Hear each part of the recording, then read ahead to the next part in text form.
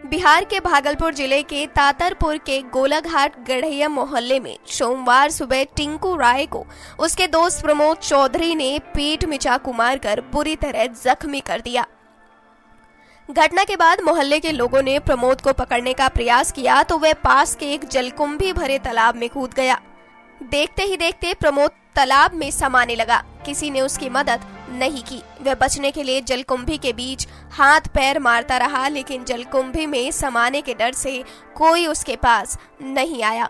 तालाब में प्रमोद के डूबते ही वीडियो वायरल होने के बाद तातरपुर पुलिस मौके पर पहुँची, लेकिन तब तक बहुत देर हो चुकी थी। सोमवार को दिन भर प्रमोद के शव की तलाश की गई, लेकिन शव का पता नहीं चल सका। मंगलवार को एसडीआरएफ की टीम जलकुंभी हटाकर शव की तलाश कर रही है।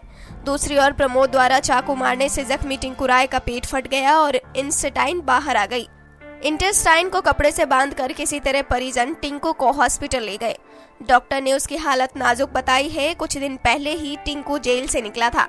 उसे मोबाइल चोरी के केस में आदमपुर पुलिस ने जेल भेजा था।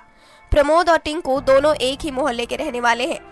टिंकू के भाई भोला राय ने बताया कि एक महीने पहले प्रमोद ने उसके घर से मोबाइल फ़ोन चुरा लिया था। मोबाइल चोरी कर भागते हुए प्रमोद को टिंकू के भाइयों ने देख लिया था। सोमवार को प्रमोद दिखा तो टिंकू उसके घर मोबाइल मांगने चला गया। वहीं प्रमोद और उसके भाई सुबोध चौधरी ने मिलकर टिंकू के पेट में चाकू घोप दिया।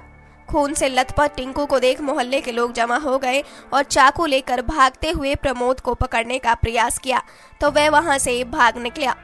कुछ घंटे बाद प्रमोद फिर मोहल्ले में दिखा तो लोगों ने उसे खदेड़ा। बचने के लिए उसने मोहल्ले के जलकुंभी भरे तालाब में ही छलांग लगा दी। उसे तालाब की गहराई का पता नहीं था। देखते ही देखते वह जलकुंभी में समा गया।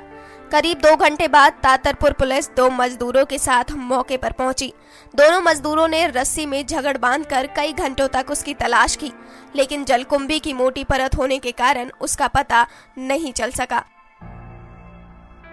नेक्स्ट नाइन न्यूज़ रूम से ममता की रिपोर्ट